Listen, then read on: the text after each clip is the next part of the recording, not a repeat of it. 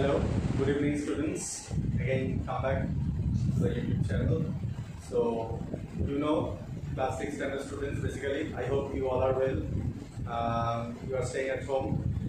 So, come to the main point. So, I was uh, telling about the first chapter of class 6 standard, that food. So, come to the next part, which is edible parts of the plants edible parts of the plants. It was your main keyword. The second main keyword was that edible parts of the plants. So which are called the edible parts of the plants? Edible means actually eatable. Eatable or edible both are same. So edible parts of the plants means the parts of a plant which we can eat properly are known as edible parts of the plant. So let's see the board. I have already written over here edible parts of the plants. The parts of the plants which are eatable are called edible parts of the plant. The parts of the plants which are eatable are known as edible parts of the plant. Like one example I have given over here. In a mango tree, the edible part is its fruit. In the mango tree that you all know, I hope you know. So you all know that the, the mango tree, the edible part is its fruit. So edible parts like not only that fruit, basically for uh, all the plants or for all the trees, we are uh, taking the fruit as its edible or eatable part for maximum plants, but then also more plants are there, not only the fruit we can eat, but also other parts we can take as uh, you can eat actually. So let's see what are the parts. Its stems, its roots, its leaves, its seeds, flowers and fruits already mentioned. So what are the rest of the part? Like stems, roots, leaves, seeds, flowers and fruits. I'm not saying that for all the plant or for all the trees we can take all the parts. But different different plants or trees we can take these these parts not uh, all together but in different different trees or plants you can take these parts as eatable or edible part. So now few plants have two or more edible parts already mentioned what i already mentioned that not only a single part we can take from one particular plant more than one part we can take it as a food. Like seeds of mustard plant give us oil. From the seeds of mustard plant we can take oil or we can get oil and leaves are used as vegetable. So see here we have got two parts from the mustard plant like its seeds from where we can get the oil and leaves are used as vegetables. Same way we can mention more examples like banana plants from banana plant, three parts we can take. We can get from banana plant its uh, uh, like flower that in Bengali is called uh, mocha and after that when it becomes mature we can get the fruit as banana. Then its stem we can also take as a part or edible part like it is called in Bengali thok.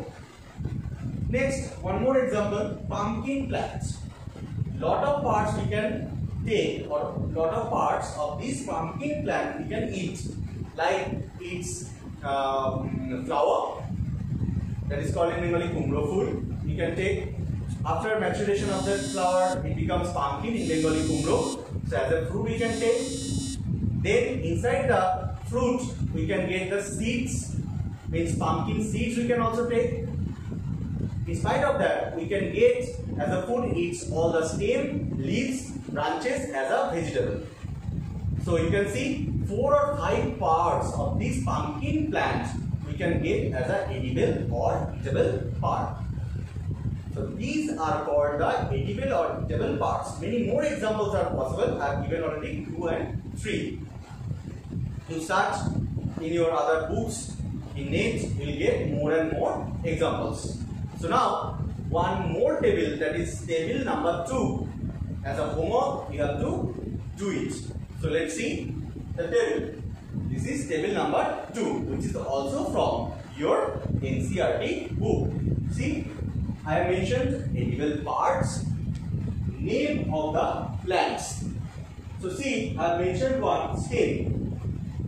So you have to mention the name of the plants which can be eaten means name of the plants of those particular plants the stem we can eat. You have to mention the names of those plants. See i've already mentioned one example like stem like potato onion and sugarcane for such type of plants we eat basically they are stems as an edible part. So here I have mentioned roots, leaves, seeds, flowers and fruits. So you have to mention the name of the plants or names of the plants. Of those plants, roots can be eaten, leaves can be eaten, seeds, flowers and fruits can be eaten as edible part. So these table we have to fill it. After that, I have mentioned one more most important keyword from this chapter, it was sprouted seeds. It was sprouted seeds. So, what are called, first of all, sprouts. What are called sprouts? Generally, germinated seeds are called sprouts. Germinated seeds are called sprouts, which can be eaten as raw or cooked. So, sprouted seeds or germinated seeds are known as sprouts and it can be eaten as raw or cooked. Examples have mentioned were here broccoli sprouts, mustard sprouts, clover sprouts, clover means in Bengali lavongo. Then sprouted chickpeas means chola, very uh, renowned sprouted seed, chickpeas. Then lentils, sprouts, lentils mean dal, musur dal, like this. So these things can be eaten. These, these sprouts actually can be eaten as raw or cooked. So now the main question arises that how are seeds sprouted? How are seeds sprouted? See, the process of sprouting involves soaking and draining excess water and leaving those seeds till they germinate. Again I am saying, the process of sprouting involves soaking and draining excess water and leaving those seeds till they germinate. So actually, uh, for germination of seeds, the basically the things required like proper uh, conditions are required to get a seed germinate. Like proper uh, warmth is required. Then uh, to germination of seed that you know if any seed will fall on the ground or on the soil then proper uh, conditions physical conditions are required like light rays sun rays proper air then warmth then water these things are required for germination that you know the term germination in the last class from there you can recall that what is called germination so now just I will explain at your home how you can germinate the seeds how you can make the sprouts basically. So from your NCERT book, activity number 5, from the first chapter, activity number 5, if you learn properly, read out the activity properly, you can get to know about that, the sprouts. So first, what you have to do, I'm just explaining here. First, you have to take, first you have to take one bowl or one container then you have to take little bit amount of quantity of like chana or dal of these sprouts um, of these seeds in that container. Then take water or fill the bowl or vessel with water. Clear? Then keep it aside. After the day or the next day, First, you drain the water from that bowl or container.